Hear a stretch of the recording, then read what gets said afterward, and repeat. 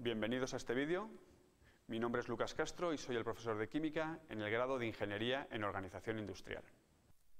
Bueno, en este problema nos piden que ajustemos una ecuación iónica, ecuación redos, y nos dicen que lo, hagamos con protones y agua. Bien, lo primero que debemos poner las eh, reacciones de oxidación, las reacciones de oxidación y reducción. Vamos a poner primero, por ejemplo, esta NO2 menos para dar NO3 menos. Bien, lo primero que debemos saber es la valencia de cada uno de estos compuestos. Bueno, aquí podemos saber que es, eh, aquí el oxígeno tiene menos 2, entonces menos 2 por menos 2, menos 4, con uno negativo que quedaría aquí, se tendría que tener 3 positivas, ¿vale? Y aquí, en este caso, sería el oxígeno menos 2, menos 2 por, por 3 son 6, ¿vale? Menos 6, menos una carga negativa que tiene que tener, entonces el hidrógeno tiene que tener más 5. Por tanto, vemos que de más 3 a más 5 hay una subida de valencia, aumento de la valencia, por lo tanto es una oxidación. ¿De acuerdo?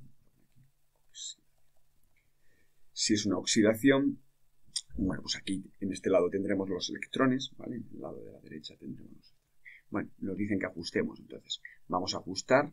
Entonces, como tenemos aquí eh, más, eh, bueno, tenemos que ajustar con agua y con protones. Bien, vamos a ponerlos, aquí tenemos los aquí, vamos a ajustar con más H2O, porque tenemos más oxígenos.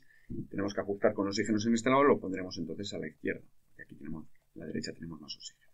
Bien, entonces en este otro lado tendremos que poner los protones. Y como hemos dicho antes aquí, también tenemos que poner los electrones, porque es una oxidación, con lo cual los electrones están en este lado. Bien, vamos a ver cuántos tenemos que ajustar. Entonces tenemos 2 de oxígeno y 1 3. Aquí tenemos 3, ya están ajustados los oxígenos. Vamos a ajustar ahora los, eh, los nitrógenos también están. Vamos a ajustar los protones. Aquí tenemos dos hidrógenos, pues dos, protones. Vamos a ajustar ahora las cargas. En este lado tenemos una negativa y una negativa. Bien. Y aquí dos positivas. Entonces, para que ajustar la carga y que en este lado me quede igual que en este, tendré que poner dos electrones, ¿vale? Porque entonces ya tenemos las cargas ajustadas. Aquí tenemos una negativa en este lado de la ecuación y en este tenemos una negativa más dos negativas, tres negativas, con dos positivas me queda todo una negativa, con lo cual en este lado y en este lado me quedan una negativa en cada uno de los dos lados. Bien, vamos a ver ahora la reducción. ¿De acuerdo? Que será la del CR2 o 7 menos más H más, bueno, más, vamos a poner, vamos a, antes de ponerlo ya, directamente es más CR2, bien, eh,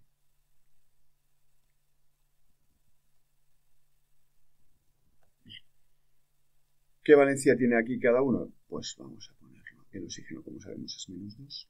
Menos 2 menos por 7 menos 14, me tiene que quedar aquí una negativa. Uy, esto está mal. Tiene que quedar con dos negativas, entonces aquí quedará menos 12, ¿vale? Entre dos cromos, aquí entonces esto me quedará más 6. Bien, y el cromo aquí está con más 3. Eh, por tanto, es una reducción de la valencia, es una los protones, los electrones me tienen que quedar a la izquierda. Los electrones me tienen que quedar a la izquierda. ¿Cómo ajusto ahora? Bien, pues entonces, como tengo más oxígenos aquí, tengo que añadir aquí el agua, aquí los protones y hemos dicho que aquí los electrones. Vamos a ajustar la, la reacción. Entonces, tenemos 7 oxígenos aquí, pues 7 de agua, ¿vale? 7 oxígenos. Ahora, los eh, hidrógenos, 7 por 2, 14 hidrógenos, pues más 14 hidrógenos. Vamos a ajustar ahora las cargas. Aquí me faltaría 2 de cromo. Bien, entonces vamos a ajustar las cargas. Tengo 2 por 3, 6 cargas positivas. Aquí tengo 2 negativas. Tengo 14 positivas. Entonces, ¿cómo lo hago? Pues o bien hago una ecuación de resolviendo una ecuación o bien directamente por tanteo. Aquí tengo, aquí tengo, si me, el resto me quedan 12 eh, positivas, para que me queden aquí 6 positivas, tengo que añadir 6 eh, cargas negativas, ¿de acuerdo? más 6 queda igual a 6. Si le pongo aquí menos 6, me queda 6. Bien, pues entonces, eh, ya con esto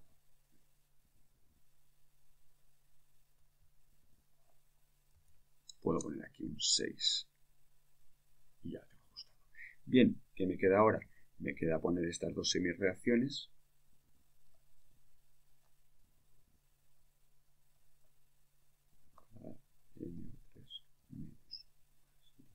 H más, dos electrones y por el otro lado CR2, 7, 2 menos, más 14 más, más 6 electrones y lo que nos queda es ajustar los electrones.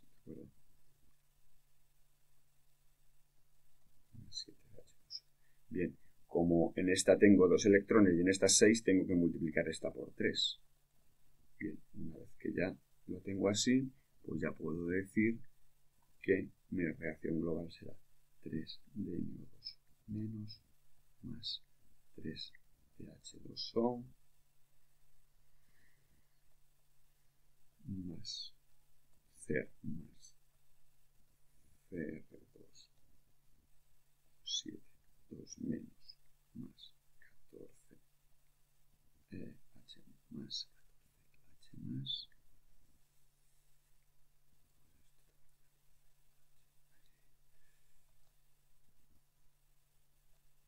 eh,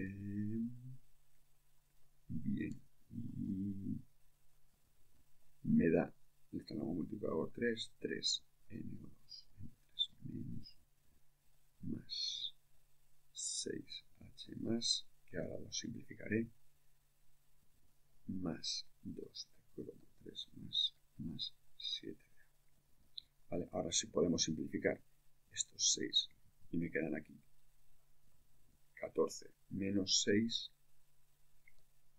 h más y estos 7 de agua tengo 3 y me quedarán 4 de acuerdo pues esta sería la reacción global de oxidorreducción espero que mm, os haya sido de ayuda este ejemplo.